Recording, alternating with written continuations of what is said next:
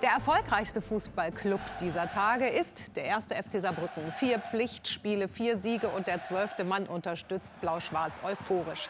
Die Tore im Pokal gegen Zweitligist Regensburg, zweimal Jurscha, einmal Kapitän Zeitz. Gillian Jurscha im Sommer angeblich mit Angeboten aus der zweiten Liga.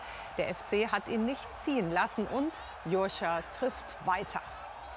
Heute aber offenbar zunächst nicht. Coach Dirk Lottner lässt Jurcha auf der Bank, stellt den wiedergenesenen Sebastian Jakob in die Startelf. Was für ein Luxus eigentlich. Beide Stürmer in der vergangenen Saison mit 16 Toren. Beide auch in dieser Saison mit der Mannschaft und durch die Mannschaft treffsicher. Heute also in Balingen, die noch punktlos sind. Der FCS vorne mit Jakob statt Jurcha. Aber das spielt wohl keine Rolle. Frank Grundhefer. Nee, nicht wirklich, denn das ist sein Plätzchen heute zunächst mal. Gillian Jurcher auf der Bank. Sein Coach, der Klottner, rotiert, was das Zeug hält. Satte sechs Wechsel im Vergleich zum 3-0-Sieg gegen Frankfurt vergangenen Mittwoch.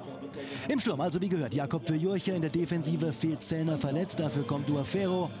Na also dann mal willkommen in Balingen, 70 Kilometer von Stuttgart entfernt bei der noch punktlosen TSG. Dritte Minute der FC in Weiß-Schorch. Mit dem Auge für Jakob. Und der spielt mit Eisele. Baum 1-0. Ja, so kann es anfangen aus Sicht des Top-Favoriten auf den Aufstieg, aus Sicht des FCS. Drei Stationen zu diesem Tor. Saarbrücken macht's simpel und effektiv. Schorch hat das Auge für Jakob und wenn der nicht selbst trifft, dann legt er auf. Hat schon in Pirmasens sehr gut funktioniert mit Eisele heute wieder. Eisele mit Saisontreffer Nummer 2. Die Mannschaft hat in dieser Saison den Punch vor dem Tor. Ein ganz wichtiger Faktor, wenn es am Ende um Platz 1 gehen soll. Und der schlichtweg perfekte Start heute. Aber die TSG, die will dann auch mitspielen. So ab der achten Minute mit Lukas Völsch. Aber kein Durchkommen, Schorch blockt. Saarbrücken im gewohnten 3-5-2 mit Barilla, Schorch und Urfero in der Kette hinten. Ralf Volkwein, der TSG-Coach, sieht dann den nächsten Saarbrücker Angriff mit äh, Barilla. Durch das Mittelfeld mit Mendler. Und der sieht Jakob. Und da verpasst er das 2-0 nur Millimeter, 15. Minute. Ball bleibt noch im Spiel. Dann aber verpufft das Ganze. Trotzdem nochmal das wunderbare Zuspiel von Mendler, der Laufweg von Jakob und das Pech ja, wenn Sebastian Jakob fit ist, dann ist er für mich der beste Stürmer dieser Liga. Und weiter, nur Saarbrücken. Eckball, Markus Mendler.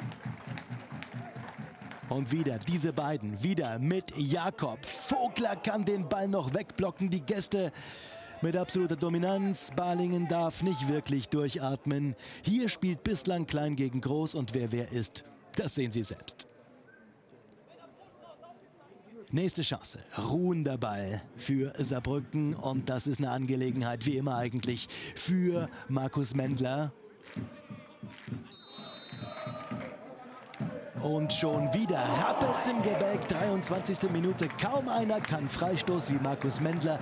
Julian Hauser im Balinger Tor wäre umsonst geflogen. Könnte locker schon 3-0 für den FC stehen. Die Gastgeber wollen dann tatsächlich auch noch mal 25. Minute mit Scherer. Und da muss Batz runter. Also doch aufpassen, sonst steht es hier mal ganz schnell 1-1.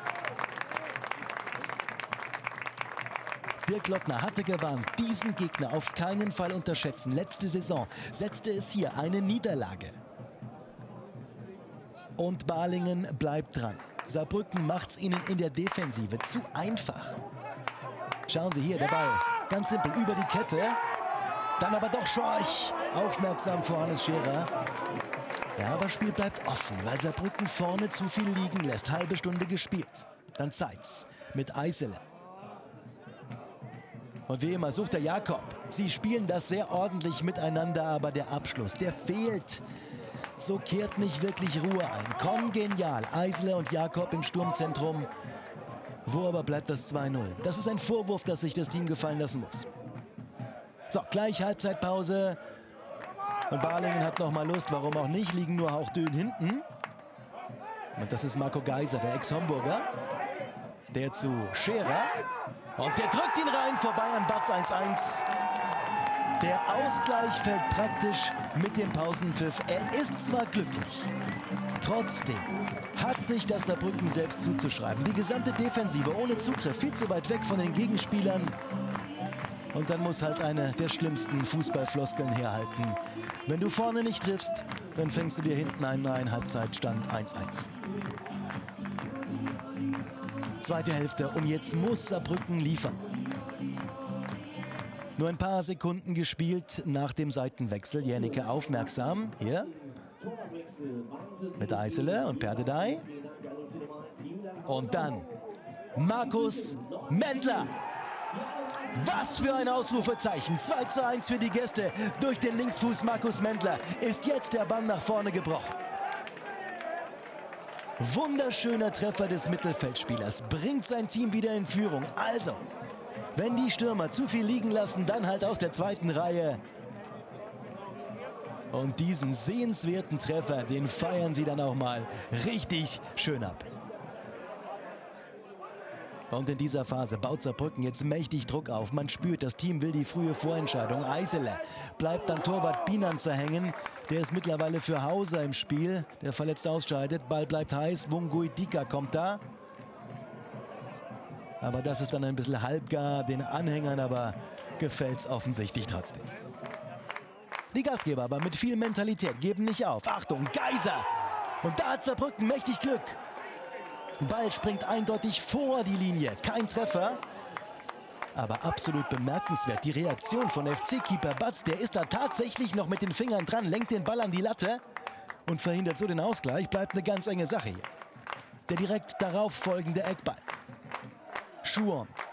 Scherer verlängert. Völz stoppt ab und dann ist es doch passiert. Saarbrücken kassiert das 2-2. 52. Minute. Und wieder muss sich die Abwehr der Blau-Schwarzen fragen lassen, wie das so passieren kann. Diesen Standard verteidigen sie schwach. Scherer darf köpfen, Völsch eindrücken. Das sind ein paar Fehlerchen zu viel in der Verteidigung. Ja, wieder ist der FC gefordert. Geht da noch was? Mendler, technisch, schön zu Eisele. So, und der ganz uneigennützig zu Jakob. Na bitte, geht doch, 3-2. 55. Minute, dritter Saisontreffer von Sebastian Jakob. Wieder schlägt das Sturmduo zu. Großartig, das Zuspiel von Mendler per Hacke zur Eisle. Den Rest machen die zwei da vorne ganz alleine. Aber was ist das bitte heute für ein Kraftakt? Zweimal den Ausgleich kassiert und dann muss eben ein dritter Treffer her, um gegen die punktlosen Balinger vorne zu liegen. Aber die beiden, die überzeugen da vorne. Und dann die 65. Minute. Jetzt kommt Gillian Jurcher gemeinsam mit Jason Breitenbach, Jänicke und Torschütze Eisle gehen dafür raus. Also was kann das noch bringen? Zunächst mal eine Chance für die Gastgeber. Die lassen einfach nicht locker. Kahn, Akaya kommt hier an den Ball. Und wieder muss Batz alles raushauen. Mann, Mann, Mann, nach hinten ist es zu oft zu wackelig, was Saarbrücken heute anbietet. Und darum ist das Spiel immer noch offen. 73 Minuten vergangen. Der FC weiter mit einem knappen Türchen vorne. Immer noch von Ruhe keine Spur. 74. Minute Batz. Dann Jakob. Jurcher. Und Mendler. Aber er kommt nicht durch. Der FC versucht nach vorne. Jede Menge. Bleibt dran. Nochmal mit Mendler. Aber nee, der erlösende vierte Treffer, er will nicht fallen. 400 mitgereiste Fans brauchen heute echt gute Nerven. Mittlerweile auch Goller im Spiel beim FC. Barilla und dann da ist Goller. Und der sucht Gillian Jurcher. Ein bisschen zu scharf. Zehn Minuten noch zu gehen. Tim Goller will da mundgerecht servieren. Aber Jurcher fehlt der entscheidende Schritt. 88. Minute. Nochmal Gefahr für das Saarbrücker Tor, aber die wird schnell abgewendet. Und umgemünzt. Gollein. Mit Jurcha. Hier. Das Tänzchen mit Guarino. Und irgendwie schnappt sich Jurcha den Ball nochmal. Das ist eine seiner Stärken. Setzt Perdedei ein und der auf dem Weg zum 4-2. Von wegen. Ja, diese Szene steht exemplarisch für den schlampigen Umgang Heute mit den Chancen. Farnol Perdedei. Okay, das ist kein Stürmer, aber den darf er schon mal machen. Dann aber Erleichterung, denn es ist Schluss in Balingen. Was für ein Spiel. Saarbrücken erkämpft den nächsten Dreier. Die Art und Weise aber war nicht immer eines Meisterschaftsfavoriten gerecht. Am Ende aber ist alles, was zählt, der nächste Erfolg, auch wenn der Coach nicht so ganz hundertprozentig zufrieden ist. Weil wir zum einen das zweite, dritte Tor in der guten Phase, die wir gerade äh, zu Beginn und Mitte der ersten Halbzeit hatten, ähm, nicht genutzt haben, um, um uns deutlich abzusetzen. Und dann fing das so langsam an, so die eine oder, eine, äh, eine oder andere Unachtsamkeit. Auch 25 Minuten, wo Bazzi dann das erste Mal gut gehalten hat. Ähm, ja, und dann kommt so ein bisschen eine Schlendrian rein. Dann denkt man, man kann das hier irgendwie runterspielen und irgendwann macht man das zweite schon. Ja, und sind genau dafür dann der, kurz vor der Halbzeit bestraft worden, machen das 1-1 und dann war uns bewusst, dass es jetzt ein Fight wird. Ne? Das, das war klar, dass die, die, die Balinger jetzt rauskommen und wirklich nochmal eine Schippe drauflegen, noch intensiver wird das Spiel. Ähm, ja, dann gehst du direkt wieder in Führung ne, und schaffst es dann wieder nicht, das Spiel so zu beruhigen, dass es, äh, dass es sauber zu Ende spielen kannst. Ja, kriegst dann wieder den Ausgleich durch den Standard. Ähm, super ärgerlich.